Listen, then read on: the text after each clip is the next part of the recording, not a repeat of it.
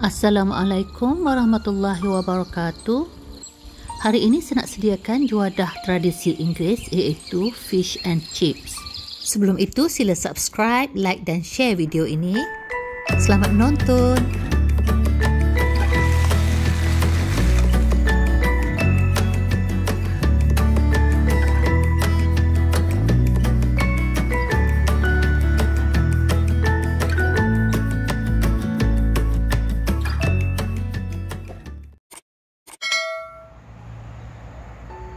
Untuk menyediakan fish and chips ni saya bahagikan kepada tiga langkah.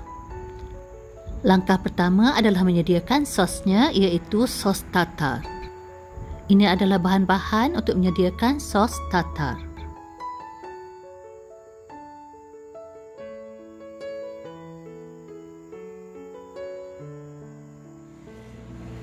Mula-mula kita cincang halus bawang merah.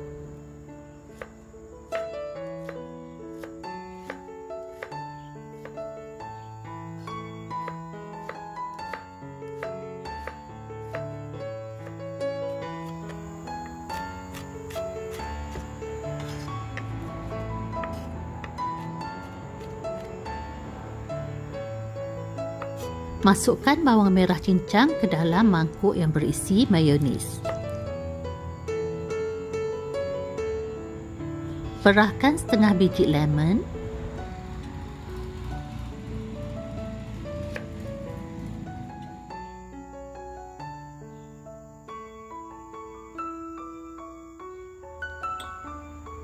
Masukkan parsley flakes iaitu parsley yang dikeringkan.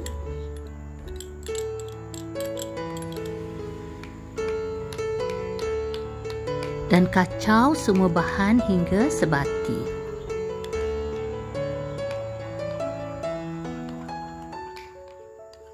Sos tartar kita dah siap dan kita boleh simpan di dalam peti sejuk.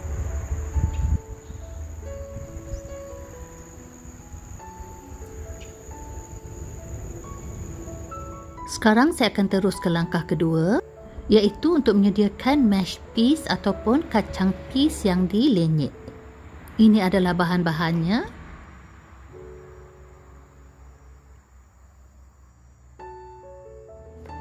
Cincang bawang putih dan bawang merah.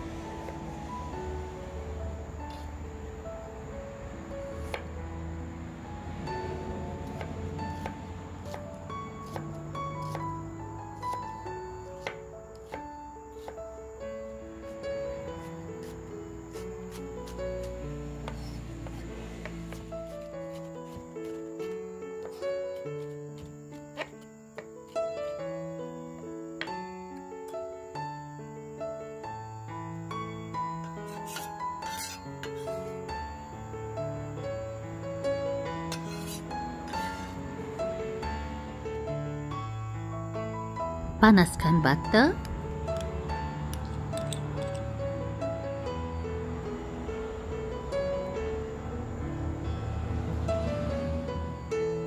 Tumis bawang putih dan bawang merah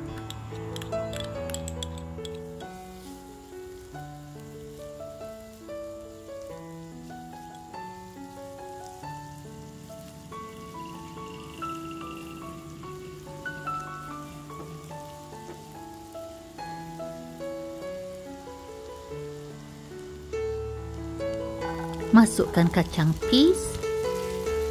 Selain dari kacang peas yang dibekukan, kita juga boleh guna kacang peas dalam tin. Masukkan lada sula.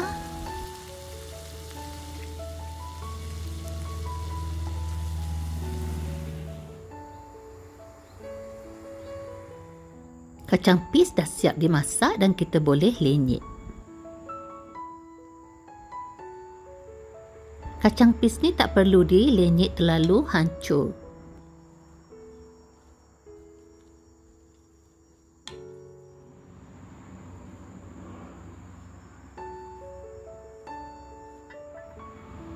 Kacang pis lenyit dah siap dan kita boleh ketepikan. Kacang pis ni adalah bahan tambahan kalau anda tak suka tak payah letak pun.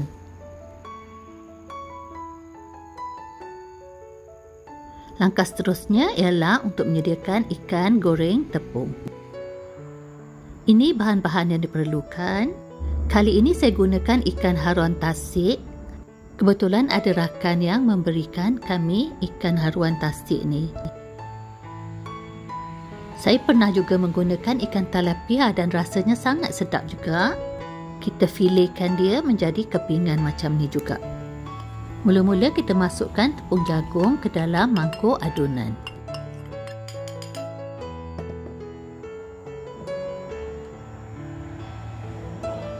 masukkan tepung gandum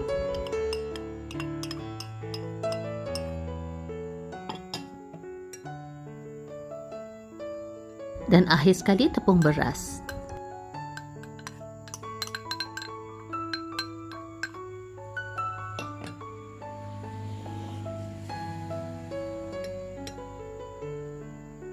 Masukkan baking powder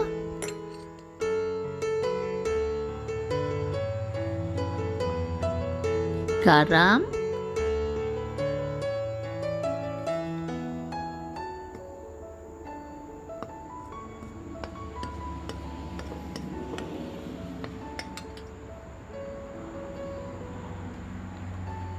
dan sedikit lada sulah.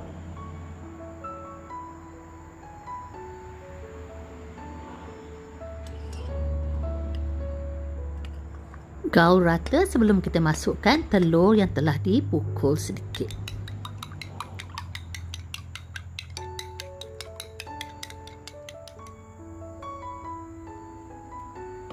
Kacau rata.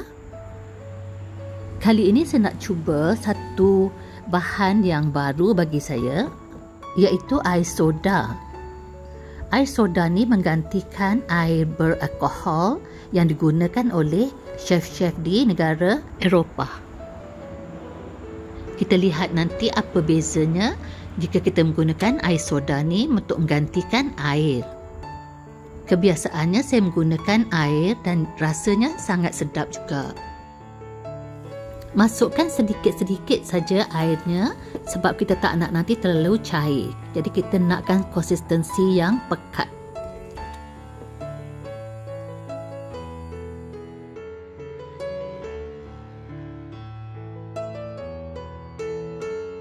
Begini kepekatannya dah memadai.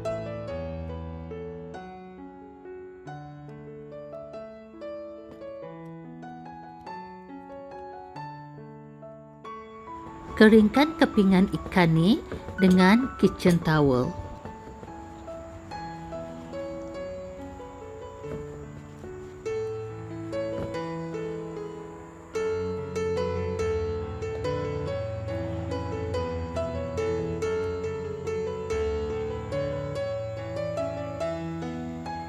tabur sedikit lada sulah dan juga garam. Restoran-restoran yang menghidangkan fish and chips ni ada juga menggunakan ikan dori. Ikan dori ni sebenarnya ikan patin tetapi yang diimport dari Vietnam. Jadi saya cadangkan anda menggunakan ikan talapia sebab jauh lebih sedap daripada ikan dori yang kita beli sejuk beku yang diimport tu. Salut kepingan ikan tadi dengan tepung jagung.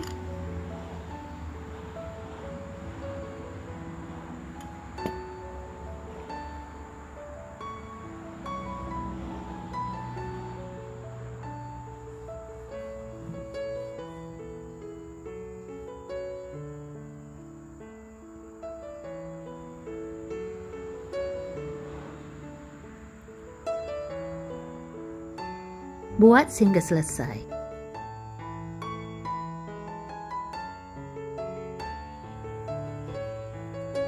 Panaskan minyak yang banyak.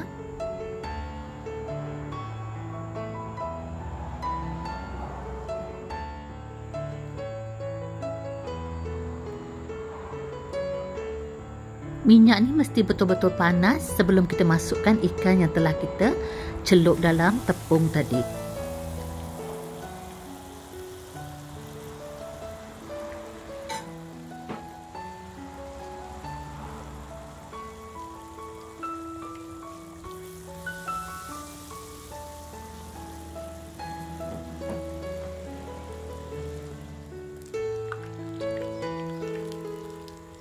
Di peringkat ini kita boleh kecilkan sedikit api. Hal ini supaya isi ikan cukup masaknya dan tepung tidak hangus.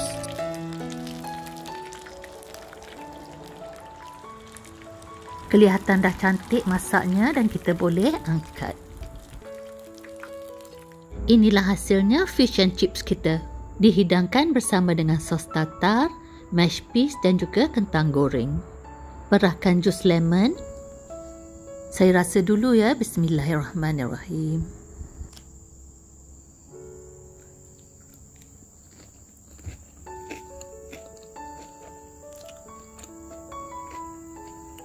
Alhamdulillah sangat lazat. Anda mesti cuba resepi ni. Dengan isi ikan yang lembut dan juga tepung yang sangat rangup, memang terbaik.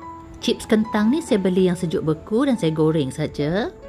Tapi saya tak nampak ada beza penggunaan air soda dan juga air biasa yang saya biasa buat sebelum ni. Jadi jangan risau kalau tak jumpa air soda ni. Terima kasih kerana menonton. Sehingga bertemu. Wassalamualaikum warahmatullahi wabarakatuh.